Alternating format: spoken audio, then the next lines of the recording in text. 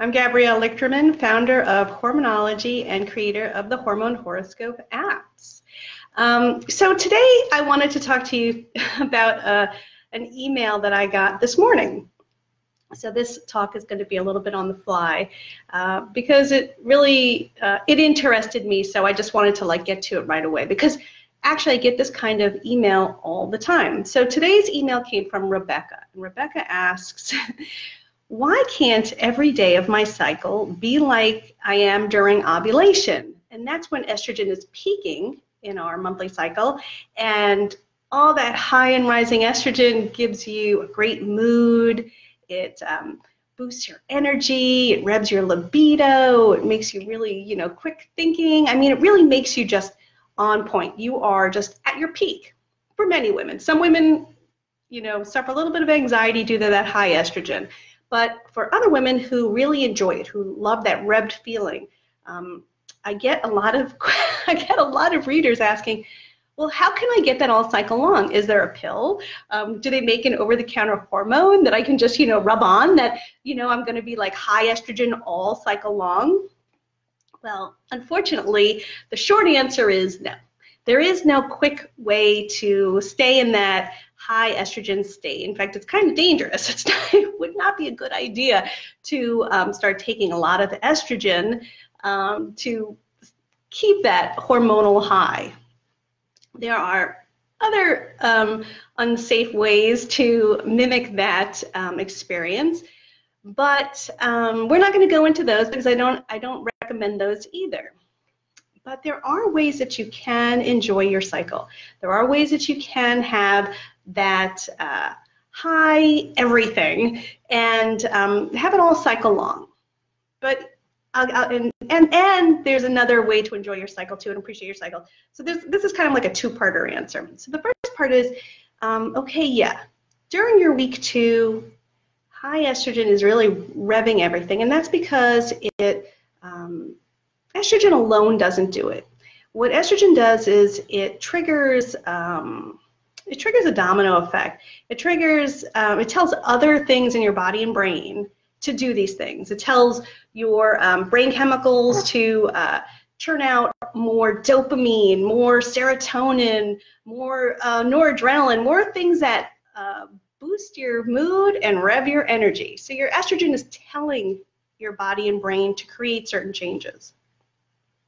Now, um, the more estrogen your your um, body creates, the more uh, of this of these changes you experience.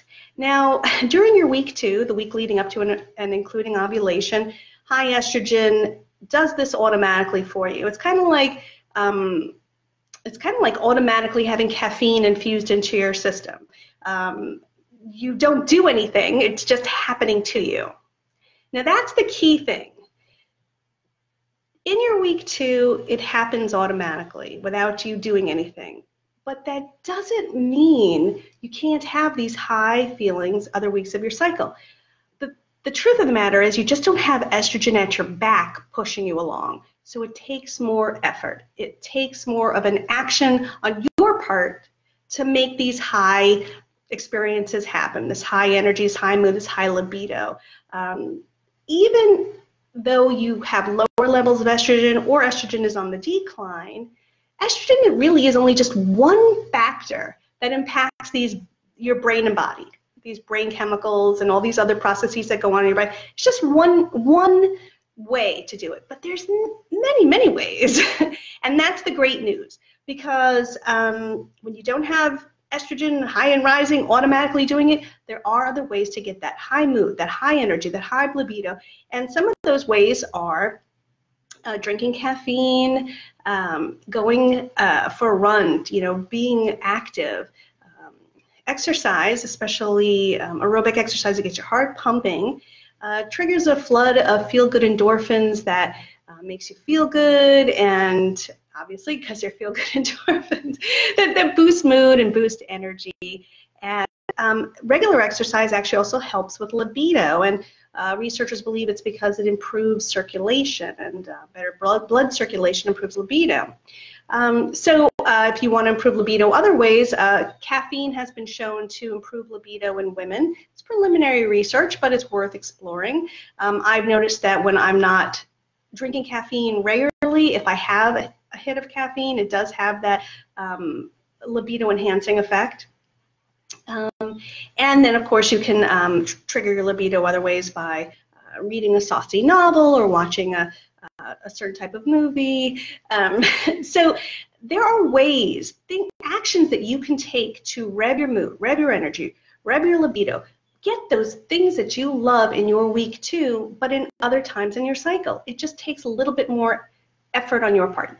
So um, don't think that you can't enjoy these revved effects, even sharpening your memory. So you want to sharpen memory in your week three when um, rising progesterone has a tendency to make you a bit foggy. That's because it's a sedating hormone. Um, drinking orange juice, drinking dark cocoa or eating dark cocoa, and um, mild to moderate intensity exercise, aerobic exercise, have all been shown to improve brain function, to improve memory and thinking, and that's because all of those in, improve um, the amount of blood that goes to your um, to your brain. Actually, that's just one. That's just one mechanism of action. There's other mechanisms of action, but um, so there. What I'm trying to point out is there are ways that you can enhance things that you love about your week two in other weeks of your cycle. It just takes a little bit more effort. I've had some of my happiest days in my premenstrual phase, in the final six days of my cycle when estrogen is plunging. Now, of course, this is known as the time when your mood is, you know, is is more prone to being on the negative side of your emotional spectrum. But that's not a given. That just means you have a greater tendency toward that.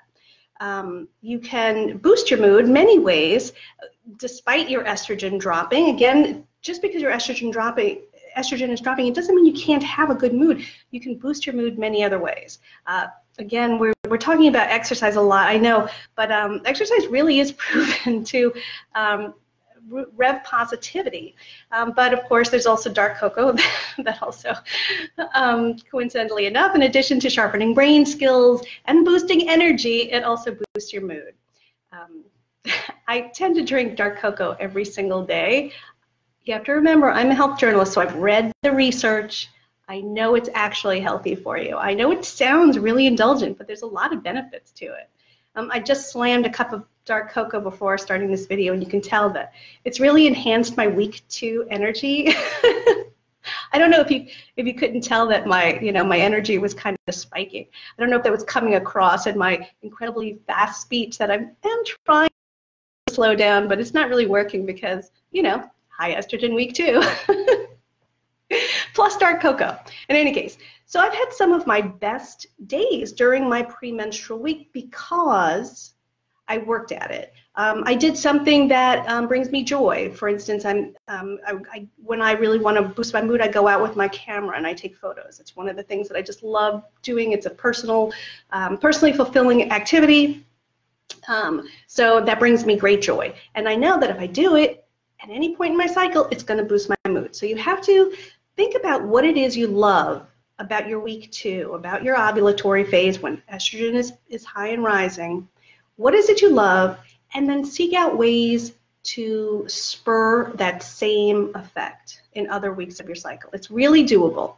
Just takes a little bit more effort. Now, the second part of my talk, um, or my answer to Rebecca's question about how can I, you know, enjoy this um, uh, this high estrogen phase all cycle long. The second part of my answer is what I really would love you to do is to learn to appreciate each phase of your cycle. Um, it's great to be up here and high and you know talking really fast and um, getting a flood of rewarding brain chemicals whenever you do anything fun. Um, but at the same time, you know, uh, there's a season for everything, right? Um, so during the slower parts of your cycle, these are great times to appreciate slower activities that you love. For instance, during my week three, I can half of my cycle, which um, starts the day after ovulation and spans through the day before your next period, I love to read. I love to take long drives. I like to do things that are slow and in keeping with that mellow, um, the mellow hormonal effects. Um, because I know that during my week two and you know the second half of my week one, uh, week one starts with the first day of your period and spans seven days. Um, I know that rising estrogen is going to make me too you know, upbeat. It's going to make me too fast. It's going to make me too antsy. I don't want to do slow things then. I can't appreciate them. I can't appre- I can't sit and just read a book um, when I'm like this. I mean, could you imagine me trying to trying to read right now? It wouldn't happen. I wouldn't enjoy it as much as when my, you know, my uh, body and brain are slowed down during the second half of my cycle. So what I'd really love for you to do um, is instead of pursuing a cycle that's all week two, try to look for ways to enjoy and appreciate each week of your cycle, each phase of your cycle. Your week one, which is your period week, your week two, of course, um, which is high in rising estrogen, but also your week three when um, progesterone dominates and it's slowing you down, and even your week four when progesterone and estrogen are descending. During that premenstrual phase, this is a really good time to really treat yourself well without the guilt. You know, um, grab the remote and have, demand total control over the TV. um, treat yourself to something special, whether that's a walk in the park or um, maybe, you know, a, a, type of tea or food that is a little special for you. Um, treat yourself well without the guilt. Um, or do other things that match that that cycle phase. And hopefully, um, if you can match activities for each cycle phase and you can appreciate the personality of each cycle phase, then maybe you won't feel the need to recreate your week two all cycle long. But again, if you do, there are ways that you can recreate energy, mood, libido. You just have to work a little bit harder at it because you don't have the hormonal winds at your back just automatically pushing you along. So that's my uh, hormonology tip for today. Going to keep it kind of short and sweet. I think I just like raced through this very high estrogen plus cocoa, uh, made me uh, speed through this. So um, if you have any questions, please ask me in the comments below or email me at gabrielle at myhormonology.com.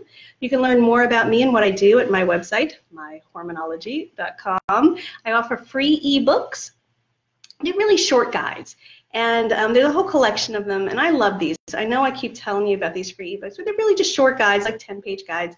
And um, they give you great overviews of your cycle. They show you how to sync your life with your cycle, and they give you, um, they allow you to show other women and men and teens how their hormones impact them throughout their cycle. It's a great introduction. So if you have a friend or a loved one who, or, or student or client who you think could benefit from learning hormones impact their moods, health, and behavior all cycle long, these ebooks are a great starting point. They're totally free. You just, you know, you just pick the ones that you want at myhormonology.com. I have a uh, on the menu, uh, Learn section, and it's right under the Learn section, free ebook library, and um, you just you just pick the ones you want, and they're emailed to you. If you don't get them via email, it's only because your uh, your your uh, email client blocked it.